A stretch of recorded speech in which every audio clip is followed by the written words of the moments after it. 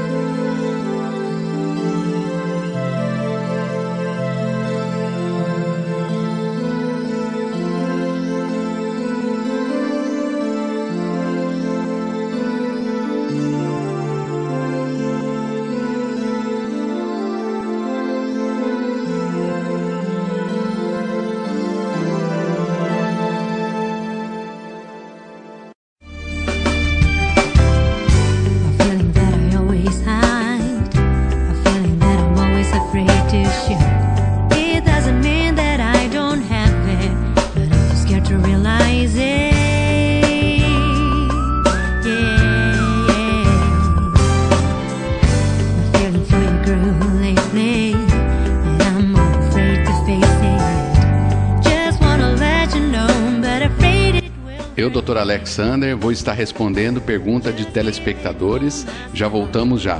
Só um momentinho.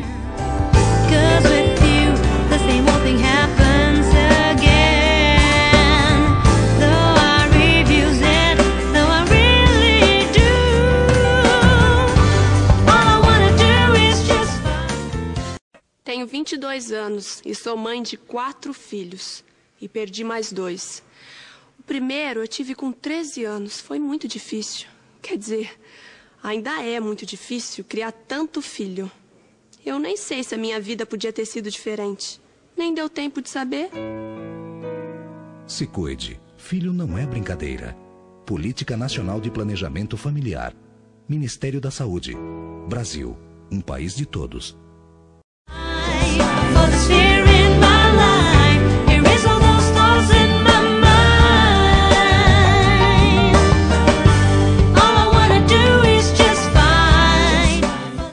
TV Boca, dicas de saúde, oferecimento PM Clínica Médica Estética. Nós temos recebido aqui, através da produção do TV Boca, é, uma série de perguntas de telespectadores é, na área de saúde.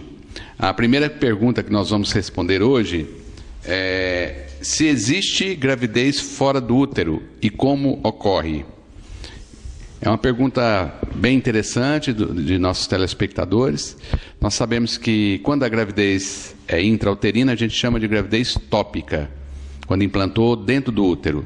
Quando a gravidez é extrauterina, nós chamamos de gravidez ectópica, ou seja, fora do útero.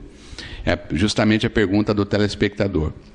Em 95% das gravidezes ectópicas que estão fora do útero, elas, elas acontecem nas trompas, é chamada gravidez tubária.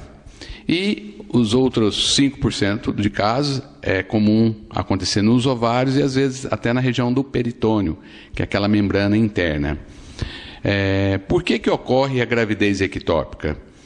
Como a maioria das gestações ectópicas se implantam nas trompas, é, geralmente ocorre devido a algum processo inflamatório nas trompas.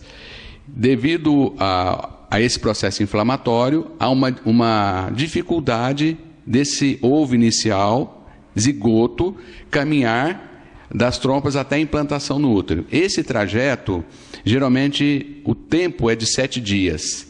Devido ao processo inflamatório, há uma implantação da gravidez inicial, geralmente no terço distal das trompas, acontecendo a gravidez ectópica.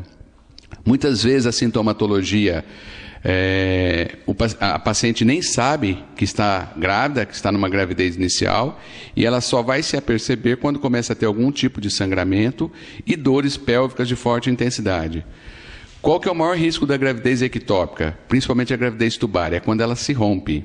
Aí pode acontecer, ocorrer uma hemorragia interna, levando a paciente a um quadro até de um choque hipovolêmico devido à perda sanguínea.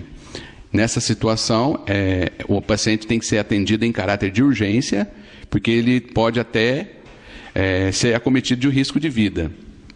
E quando a gravidez tubária ectópica está íntegra, geralmente você pode fazer ou tentar um tratamento conservador ou fazer uma cirurgia conservadora, que pode ser feita uma cirurgia aberta ou por vídeo laparoscopia.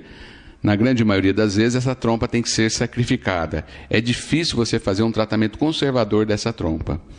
E sempre lembrando que quando a paciente tem uma gravidez tubária de um lado, sempre tem que observar a situação é, funcional da trompa contralateral, que existe um risco potencial também dessa trompa ter algum processo inflamatório.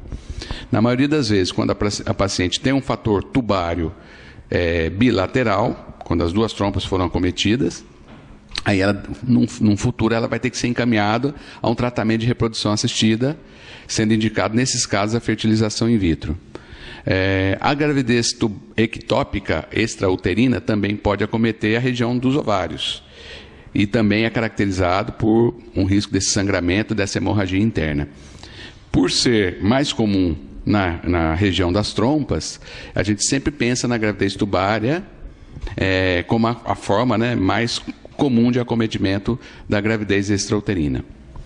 É, é um tema que a gente tem que estar sempre lembrando, devido ao risco, os riscos potenciais para o paciente, principalmente numa situação de urgência e emergência, e também pelo fato de poder comprometer o futuro reprodutivo dessa paciente.